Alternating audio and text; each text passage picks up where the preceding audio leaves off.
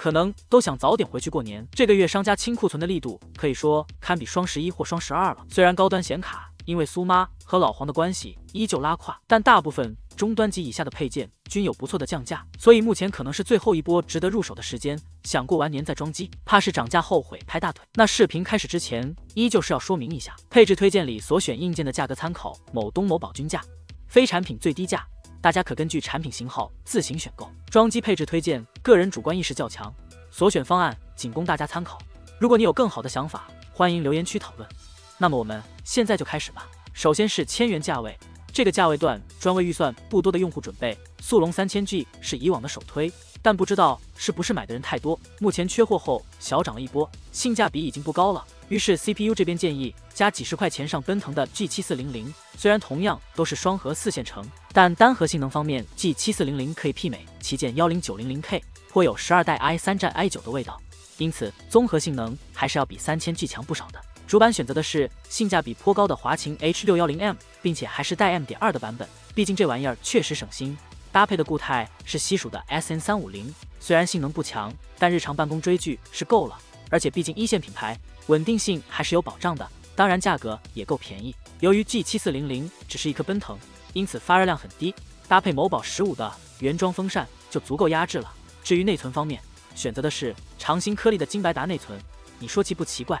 自从国产颗粒上线以后，其他几个国际大厂的火灾和断电次数直线下跌，嗯，真是耐人寻味。最后整套平台功耗很低，因此选择的是长城二百瓦机电套装。这款产品目前售价仅为一百五十元。可谓性价比超高。如果预算稍微充裕一点，来到两千价位，我推荐的是这套。熟悉的粉丝肯定会问，为啥不是 i 三幺二幺零零呢？虽然十二代 i 三并没有涨价太多，但架不住 AMD 几轮降价后实在太香了。目前五六零零 G 加 B 五五零 M 版优一套才一千三百元，而幺二幺零零加 H 六幺零 M 也要一千二百元左右。虽然华硕 B 五五零 K 定位入门，但毕竟是 B 五五零 M 定位更高，拓展。供电等方面都比 H 六幺零 M 更给力。不仅如此，这百元左右的差价带来的还有更强的多核性能和游戏性能。虽然单核方面 i 三幺二幺零零挺猛，但毕竟五六零零 G 六和十二线程，重负在办公肯定是要比 i 三幺二幺零零强的。至于核显性能就更不用说了，直接秒杀 i 三幺二幺零零。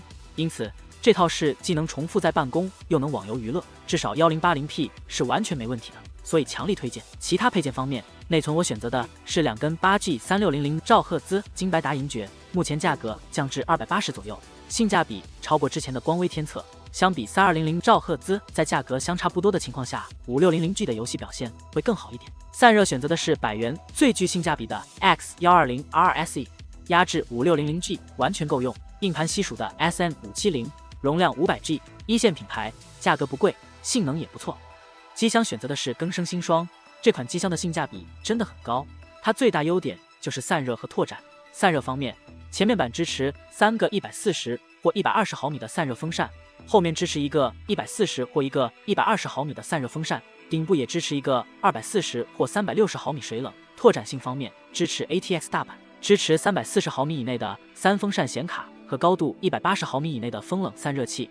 除此之外，还拥有七个 PCI 扩展槽和三个竖插槽，以及两个二点五寸固态硬盘位和三个三点五寸机械硬盘位。可以说这款机箱能从低端一直用到高端搭配，因此后续配置出现时我就不多介绍了。需要注意的是，虽然它支持竖装显卡，但受限预算，槽位间距过小，安装体验不佳，因此还是建议传统横装。最后电源选的是长城智控五百瓦，老牌国企，售后稳定性有保障。且价格实惠，虽然两千价位段的五六零零 G 游戏性能尚可，但来到三千价位段，我们就可以选择性能更强的独显了。这里首推的是六五零零 XT，老实说，它的性能也不算很强，但已经可以中低画质下体验不少三 A 大作了。且网游方面的帧数表现也要比五六零零 G 好得多，因此还是值得入手的。在选购上，由于六五零零 XT 定位入门，且发热不高，因此没必要选择价格更贵的一二线品牌。一千出头的汉凯探索版就完全够用。其他配置方面，CPU 选择的是幺二幺零零 F 十二代强大的单核性能，想必大家都有所了解。因此，这颗 i 三虽只有四和八线，但搭配六五零零 XT 也完全够用了。由于 i 三发热量低，因此散热选择的是二热管的乔思伯 C 二幺二零零 E，这应该是目前最便宜的十二代散热器了。主板选择的是定位入门的 H 六幺零 M，考虑到游戏主机会长时间使用，因此品牌上选择了一线微星，稳定性会更好一些。至于口碑，最佳的华硕 H 六幺零帽，由于目前涨价太多，已快接近 B 六六零 M 盖板了，因此不推荐。内存因为 H 六幺零 M 只支持三二零零兆赫兹，所以选择了两根八 G 金百达银爵。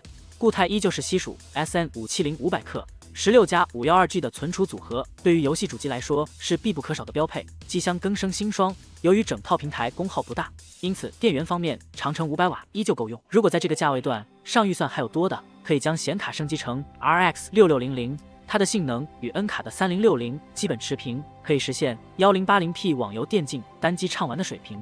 而且八 G 的大显存，面对大型游戏时也不会像四 G 的六五零零 XT 一样出现掉帧不稳定的情况。型号这里我选择的是迪兰战将，虽是一线品牌，但价格却相当实惠，而且还支持个人送保。由于 RX 六六零零能耗比相当出色，因此功耗并不高，在其他配置不变的情况下。五百瓦的长城电源依旧够用，来到四千价位段，搭配的显卡依旧首选 RX 六六零零，剩下的预算主要就是升级 CPU 和主板。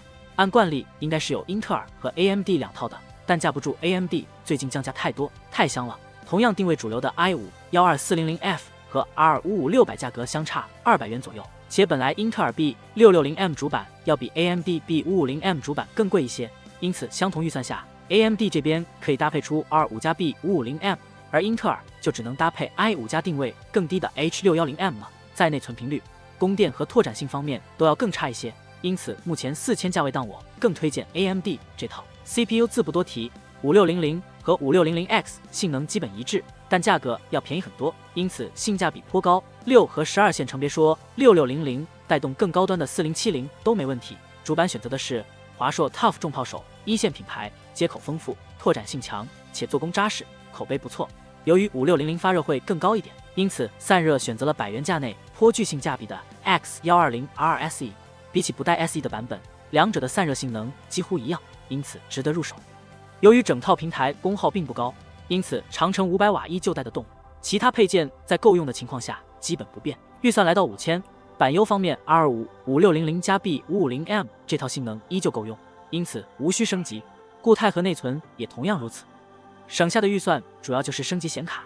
在这个价位段里，我首推 RX 六六五零 XT，它的性能要比六六零零强百分之二十，可以实现幺零八零 P 全特效秒杀，二 K 六十帧的流畅体验。品牌方面，我选择的是迪兰，虽是 A 卡一线，但价格能和二线相媲美，性价比很高。而且由于六六五零 XT 是新出的显卡，因此也没有矿卡的风险，所以很值得入手。当然，如果喜欢 N 卡的话，那同价位段的三零六零十二 G 也是可以入手的。目前十二克的主流版本只比六六五零 XT 贵了一百左右，因此性价比也不错。不过购买时，请大家千万注意，别买成八 G 的版本。八 G 的就是阉割版，八 G 的就是阉割版，八 G 的就是阉割版。重要的是说三遍。当然，没有垃圾的产品，只有垃圾的价格。三零六零八 G 版目前两千二百左右的售价，可以说毫无性价比。如果后续能降价到一千八百元左右，那也是值得入手的，毕竟它的性能和二零六零 S 持平。电源方面，不管是六六五零 XT 还是三零六零，对供电的要求都比之前更高一些，因此电源升级成了六百瓦的长城金牌 V 六，不仅有金牌八零 Plus 认证，而且还是全模组，安装起来更方便，用料也比较扎实，三年质保无需担心。来到六千价位，显卡可以继续升级一个档次，和阉割版的三零六零八 G 不同，GDDR 六 X 版的新三零六零 Ti 还是挺香的。据实测。新版三零六零 Ti 其性能十分接近三零七零，但售价上却要便宜不少，因此性价比颇高。在这里我选择的是更生 RTX 三零六零 Ti 追风，更生虽是二线，但产品品质倒也还行，主要优点就是便宜且支持个人送保，因此倒也不用太担心质量问题，并且三零六零 Ti G 六 X 是新卡，所以没有矿的风险，可以放心购买。其他配置方面，内存升级成三六零零兆赫兹的高频内存条，游戏帧数会略有提高，且更稳定一些。固态升级成一 TB，毕竟到了这个级别的显卡配置，除了网游外，大型三 A 也是玩家的心头好。